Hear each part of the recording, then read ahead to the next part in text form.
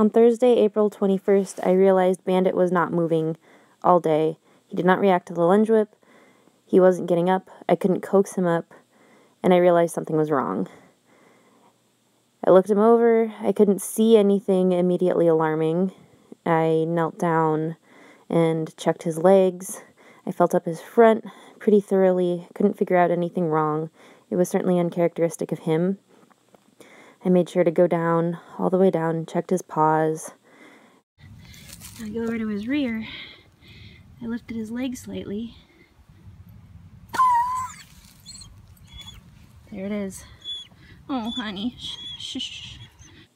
It was really obvious to me at, at that point that something serious had happened.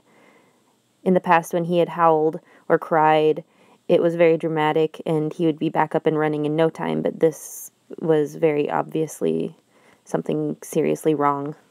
As soon as I could, I rushed him to the emergency vet where they took x rays and did what's called a drawer test, in which they pull the tibia forward from the femur to see if there is a ligament tear.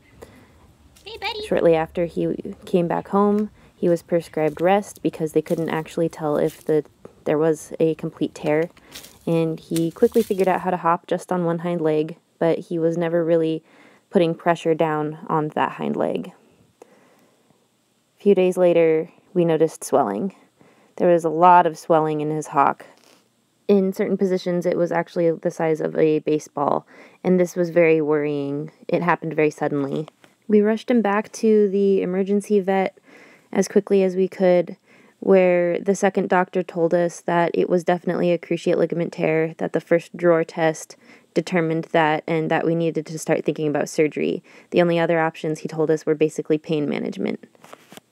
From that point onward, we began researching as much as possible into ligament tears, but unfortunately, the pain was getting significantly worse and the swelling was getting a lot worse too.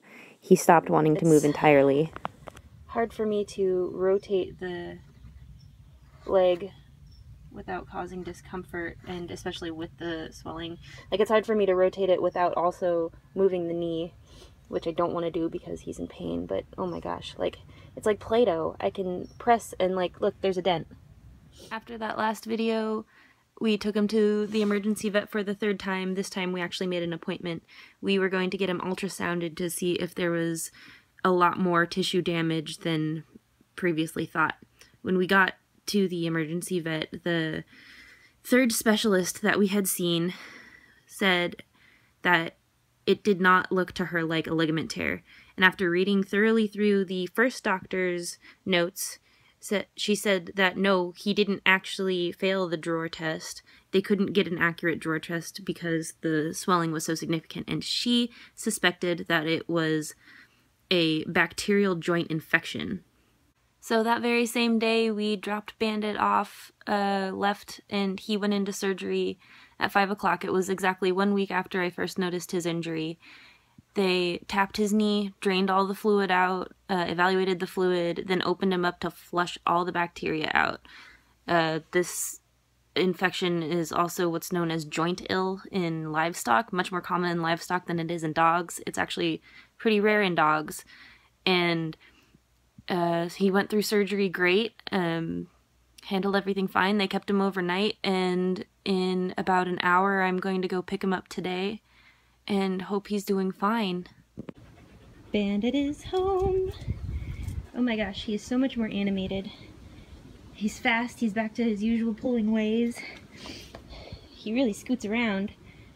Look at look at how much the swelling has gone down. It's still a little puffy around the incision, but his hock looks great.